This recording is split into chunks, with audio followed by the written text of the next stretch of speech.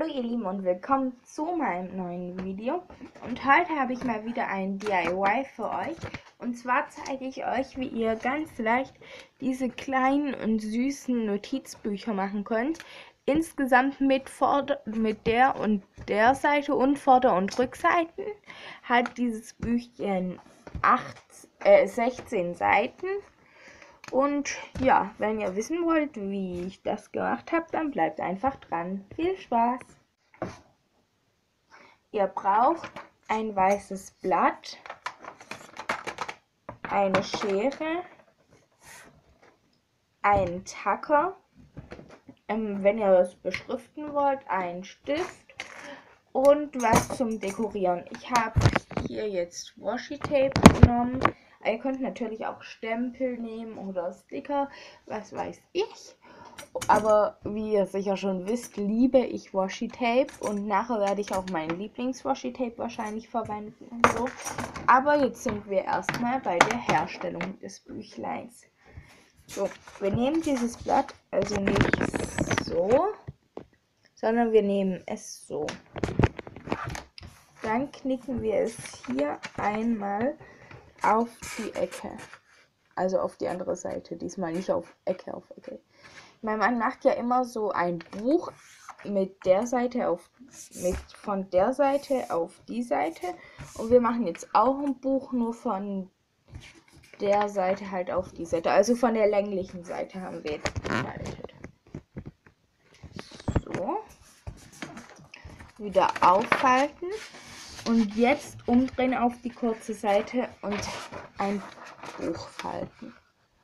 Eigentlich verstehe ich nicht, warum manche Leute dazu Buch sagen, weil das ist. Ja, okay, eigentlich. Äh, doch, ich verstehe es. So, und jetzt falten wir es wieder auf. Und wir falten jetzt diese Seite hier zum Mittelknick.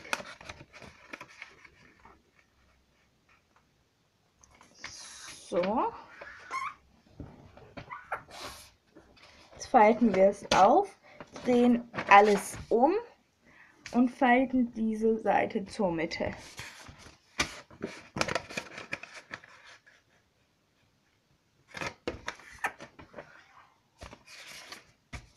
Jetzt falten wir das wieder auf und so müsste es jetzt aussehen. So hier ein Teil, Knick, da ein Teil, Knick, Teil, Knick und noch der restliche Teil. So, und jetzt nehmen, also wenn hier, wir haben jetzt ja vier Knicke, jetzt nehmen wir den mittleren Knick, den hier von der kleinen Seite. So, wir knicken es jetzt einfach wieder an den Knick in der Mitte, nehmen unsere Schere, schneiden hier diesen Knick hier ein, beziehungsweise diese Linie.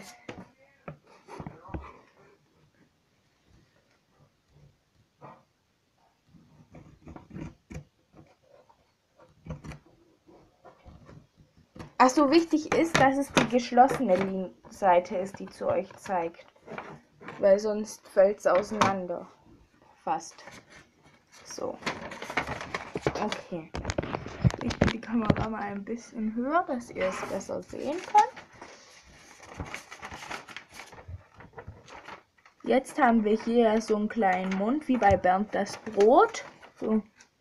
Hallo, ich bin Bernd das Brot. Und jetzt, das ist jetzt, jetzt faltet ihr es so, also die lange Seite.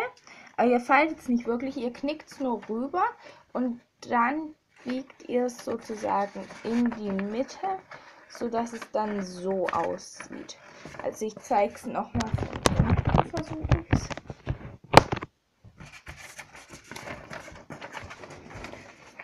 Ich zeige es jetzt so, dass ihr es auch seht. Ihr knickt es hier so ein bisschen ein, als ob ihr es so machen würdet. Und dann schiebt ihr einfach die Seiten zusammen. So, jetzt können wir die Seiten mal so ein bisschen glatt falten. Und es wird jetzt einfach alles so, weil hier sind ja jetzt so zwei Seiten, die mehr zusammen sind. Und da werden jetzt alle Seiten auf die linke gefaltet. So, und wieder auf die linke. Jetzt sind hier ja schon unsere Seiten, aber es sind noch relativ wenige. Und ihr seht, manche sind unten zusammen. Da war doch gerade eine, wo zusammen. Ah ja, hier zum Beispiel sind die zusammen und so. Und es ist gleich egal, wo ihr es tackert, ob es jetzt auf der Seite ist oder auf der. In dem Fall sind jetzt ist halt der, die Zune-Seite hier unten, sonst ist sie da oben. Und ja, auf jeden Fall nehmt ihr jetzt euren Tacker erstmal, weil wir schneiden es gleich auseinander und sonst fällt es auseinander. Und tackern hier relativ weit oben und am Rand. Ihr könnt es auch mehr in der Mitte machen, aber ich mache es jetzt hier relativ weit um. Und es ist wichtig, dass ihr darauf achtet, dass ihr relativ nah hier am Rand tackert. Weil wenn ihr nachher hier irgendwo tackert, dann kriegt ihr es ja nicht mehr auf, gescheit. So. Nehmen wir hier einfach unsere Schere und gehen hier rein.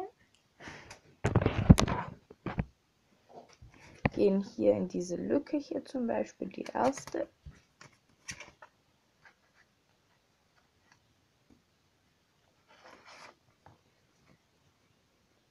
Und schneiden die zwei Seiten auseinander. Das macht ihr jetzt auch ähm, bei denen, wo hier unten zusammen ist. Ich finde es irgendwie besser, wenn die es da hochkant steht. Und ja, dann sehen wir uns gleich wieder. So, okay, ich habe hier jetzt alles auseinander gemacht. Und der Grund, warum hier Janina Nina drauf steht, ist, dass, ähm, dass ich das für meine Videos nehme. Also wenn ich eine Idee habe. Und hier kommt jetzt mein Lieblings-Washi-Tape zum Einsatz. Das ist von DM. Und ich finde es richtig schön. Wir waren gestern auch bei DM und da gibt es auch voll schöne Washi-Tapes. Jetzt zum Beispiel mit so Fröschen. Und DM hat einfach allgemein irgendwie voll die schönen Washi-Tapes. Und das klebe ich jetzt hier einfach. Auf, ja, auf jeden Fall klebe ich das hier jetzt einfach ähm, über diese Tackernadel und knick's dann hier einfach um. Die, die meine Videos schon länger gucken, wissen nicht nur, dass ich ähm, Washi Tape liebe, sondern auch, dass ich es eher schlicht mag. Deswegen werde ich da jetzt nicht so viel drauf machen. Und ja was ich vergessen habe zu sagen und vielleicht hätte machen sollen, bevor ich hier jetzt gemacht habe, ich lasse es jetzt übrigens so, dass, ähm, wenn ihr wollt, könnt ihr hier dann noch den Rand abschneiden, weil das dann relativ ungleichmäßig, wenn ihr die Seiten auseinandergeschnitten habt. So, und fertig ist euer kleines Notizbüchchen. Aber noch nicht abschalten. Und zwar, wenn ihr, ich möchte nämlich wieder ein QA-Video machen. Und wenn ihr noch irgendwelche Fragen an mich habt, dann schreibt es doch in die Kommentare. Das Video wird wahrscheinlich heute oder morgen noch online kommen. Und dann, wenn euch meine Idee gefallen hat, gebt mir doch einen Daumen nach oben. Schreibt mir in die Kommentare, ähm, was für Fragen ihr habt, ob ihr euch das Video gefallen hat, was ihr noch für Videos sehen wollt. Dann könnt ihr mich rechts oben irgendwo noch kostenlos abonnieren. Und ihr könnt die Videos auch gerne mit euren Freunden teilen. Und dann bis zum nächsten Mal. Tschüss.